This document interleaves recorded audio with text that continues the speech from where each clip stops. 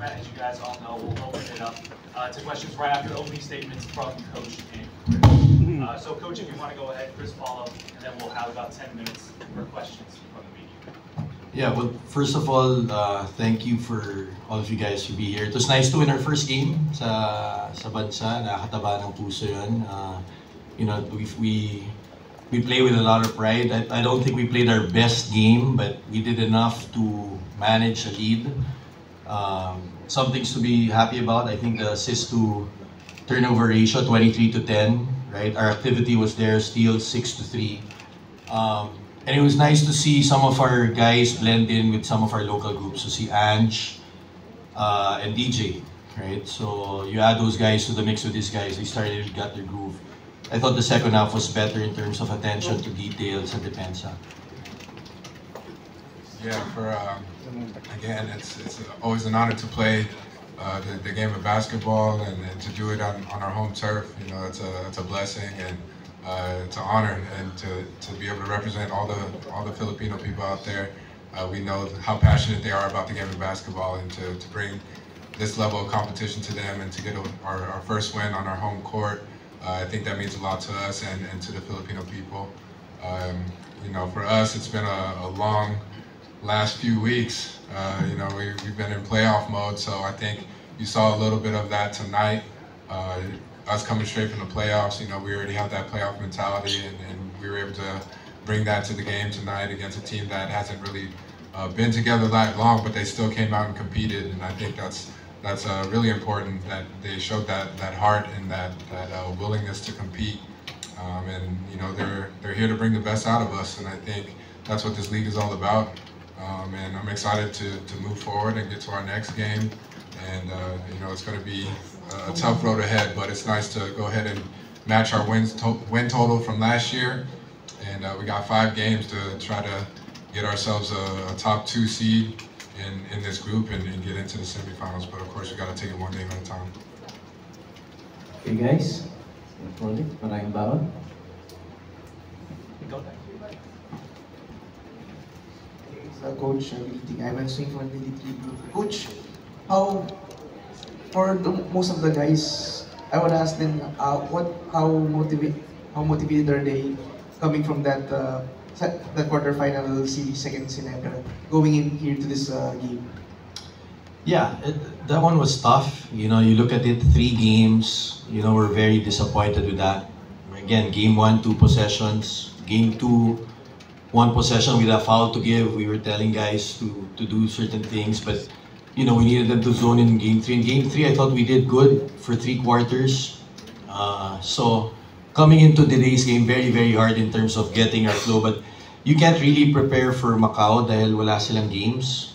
They have a new, completely new staff. So I think today was more about ourselves uh, in terms of what we've been running, right? And you know, like Nu said, you give Macau credit because I think they've, you know, in fairness sa kanila, they've only practiced a week.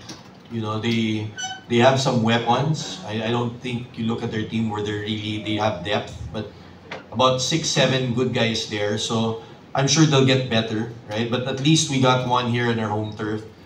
We respect this league. We're very proud to be in it. I think the advantage we have is we already played last year, right? And now with the import situation of other countries, our next two games are going to be very important because if you want to make the playoffs, you have to get at least four wins. Right? I think we, we're confident that we should uh, focus when we're here and take care of business here. But those two games, we have to show that we can win on their home court. Uh, Nu hit that game winners uh, against Ryukyu. Yung home base natin was Macau. And we have a lot of fans there, right? So now naman the challenge for these guys is how do we manage, you know, we're not in the PBA, we'll have four days off. When we come back, getting in shape, getting our legs, getting guys in their flow, and then how do we tackle Ryukyu? I think October 16, and then November 13 naman, we'll, we'll go to Korea. So those two games, we have to target to get at least one of those two.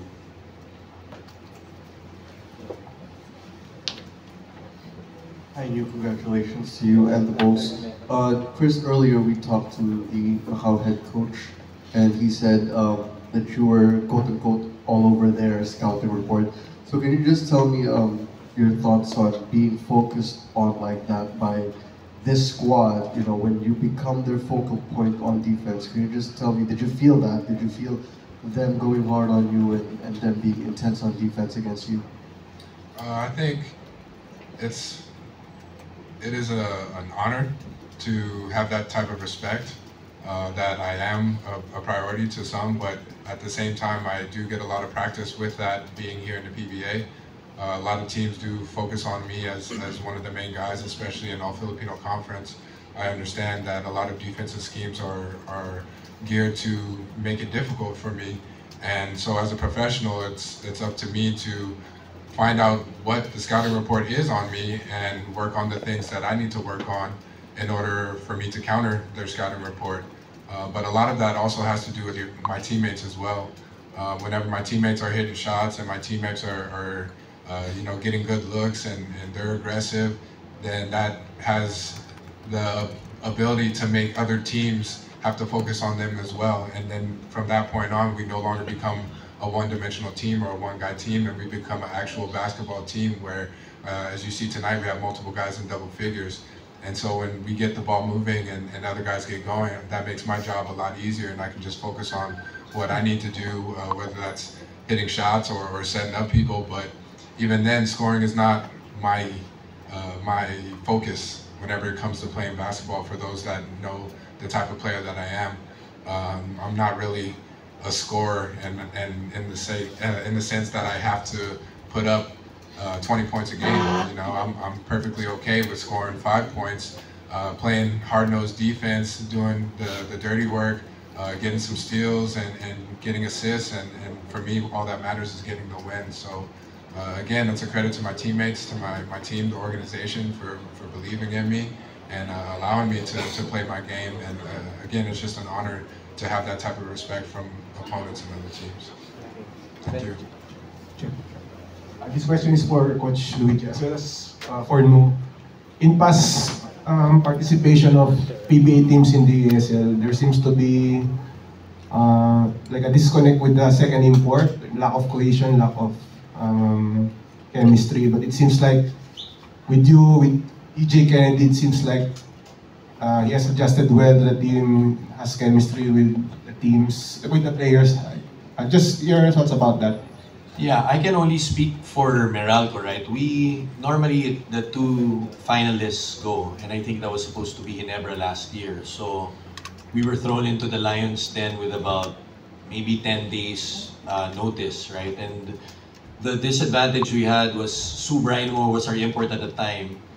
And obviously his visa, his visa, he only had a single entry for work permit. So that put us back, right? Not only we are we a neophyte there, uh, getting two guys to play. And I think the PBA also works hand in hand with the ESL that now they're realizing that uh, we're being told early. So now we have an opportunity to bring in an import earlier. We have more experience with that. I think as the league, as ESL grows, uh, PBA and ESL probably will work together.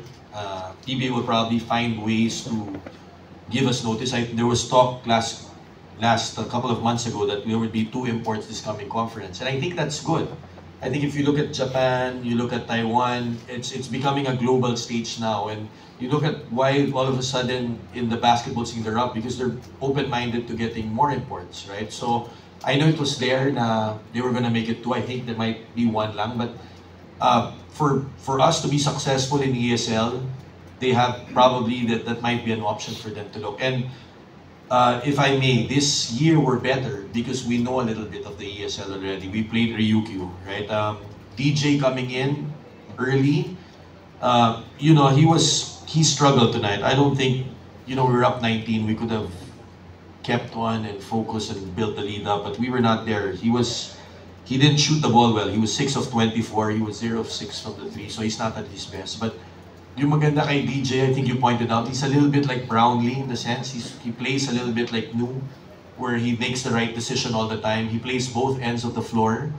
Uh, DJ, you can put him 1 to 4, just like Nu, so you have points of attack, right? Um, I'm looking forward to Elaine Maliksi coming back or CJ because we need floor spacers as well. So sana we'll get healthy. In the, in the series, you know, you look at the Ginebra series where they were small, we needed our guards and we had three guards injured, Black, Cancino, and Maliksi, right? So just like the ESL, I hope these guys can get healthy. We have time. Uh, we'd like to bring a healthy team. Uh, we know last year we weren't complete, so you're playing the best of Asia, right? So we hopefully this time will, as the games get closer, makakabalik sila.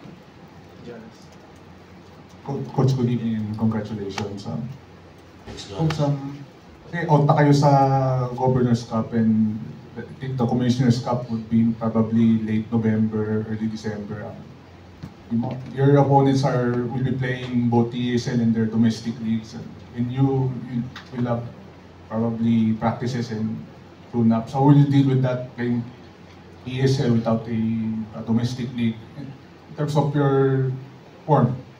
Yeah, well, we, we train hard. I mean, I think the advantage we have is we're the best conditioned team, if I may say, to the point that, you know, we, we go at it in practice. And I think that's what led us to our championship last year. When we came to push and shove with other teams, we could we could adjust. We could run, we could set it up.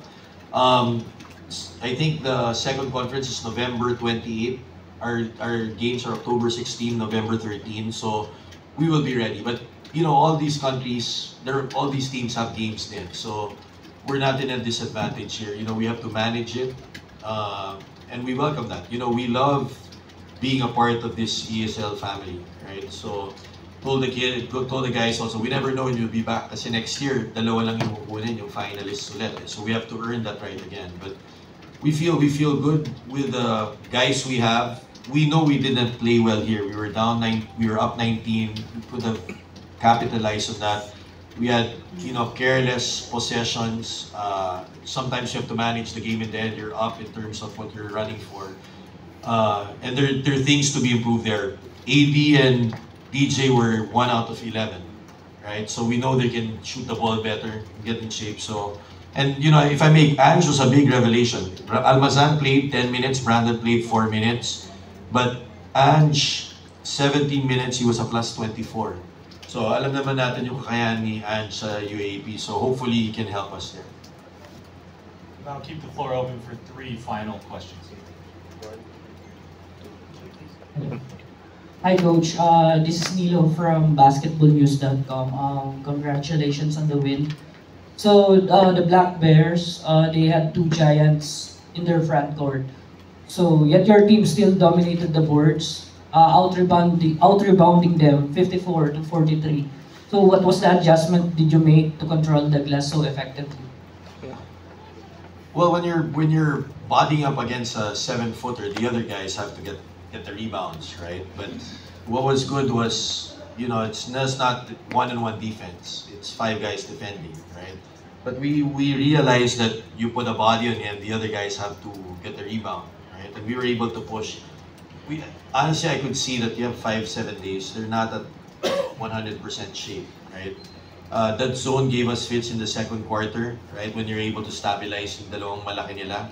But once you get some good defensive possessions and you're able to run back, they can't they can't settle, right? And I think in this type of setting, AD will be okay. The last the last series, they had quicker guys, right? So AD's in the element facing bigger guys, right? And you know, Brandon will do his part, Raymond will do his part, Ange will do his part. But I think moving moving forward, uh, you know, you look at Taipei, they're they're guard heavy. They have bigs who play like guards. So each team has a different ano. Ryukyu has a two tough bigs. So each each one has. But the nice thing we have now, we're more balanced as a team. Salamat. Good evening, Coach and Nu. Um, you said earlier that um, the team is still in playoff mode. And with the team's exit from the uh, PBA playoffs, did you guys uh, see this game as an opportunity to maybe get your composure back and maybe even let your frustrations out? And if so, do you think that you were able to achieve that? Yeah, definitely. Uh, I mean, no team likes losing.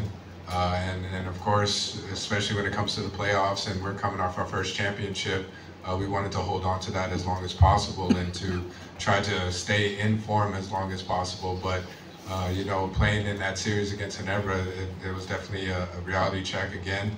uh, brought us back down to earth, and uh, it, it was a sign that after a championship, you have to regain that hunger again to try to get another one because there's other teams out there that are trying to take it from you. And uh, so again, that was a, a, gut check for us.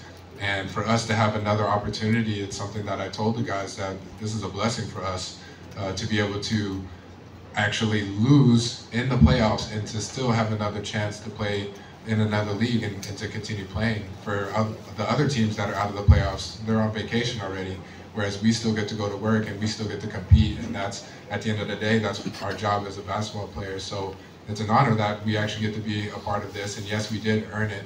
Uh, and and for us to be able to to bounce back uh, not even three days later two days we were talking about two days later and we, we get to have the opportunity to bounce back from that that uh, semifinal or sorry that quarterfinals uh, loss. So it was definitely something that that we needed as an organization as a team uh, for us to, to kind of find our rhythm again and, and to kind of have that fresh start. Uh, but yeah, we were definitely able to get that win that we needed after losing three straight. And I think that can do a lot for your confidence as a team and as an organization. Thank you. Thank you. Coach, coach, regarding that as well, yeah, after since you're now done with Ginebra, do you think it also factored that you only you're now only focused on the EASL, unlike San Miguel that they still have current to think about aside from the ESL? Yeah, well, we just told the guys we have a lot. Like news said it all, right? Like uh, the opportunities there, you know, gratitude na nandun kami. But we have a lot of responsibility rin, right? Like just to back up Coach Nenad after the exercise, I said, dala natin yung bandila. We carry the flag, right? These are the best clubs in Asia. So we have a responsibility not only to our families, not only to Meralco, but we're carrying the PBA's name. We're carrying Philippines name, right? And uh, it's it's a pride thing that we want to be the best in Asia. Diba? So uh, we I, I, believe in our guys. We, we got good character all around. We have new weapons in.